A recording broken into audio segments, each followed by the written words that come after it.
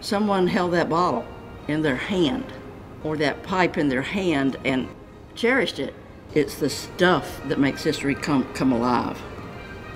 We have just received the first of many shipments from the Navy Yard in Washington, D.C., of the remains of the CSS Georgia.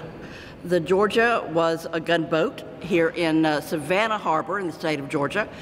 These artifacts have been in the, the Savannah River for a long time, and uh, they they talk to us and they, they share information about uh, what you know what the past was like.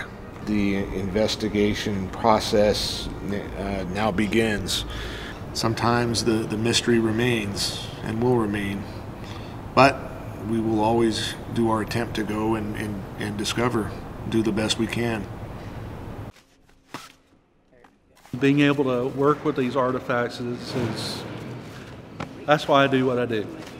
We've been working with the Navy, uh, with the conservators out at Texas A&M for at least seven years now to bring this material here.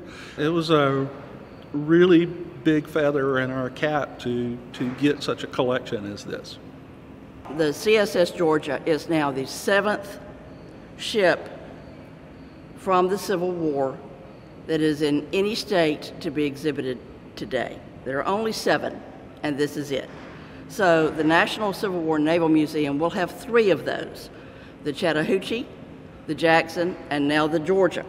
And we believe that now that it's been raised and conserved, that this is a great place for it to be at a national institution and back home in Georgia.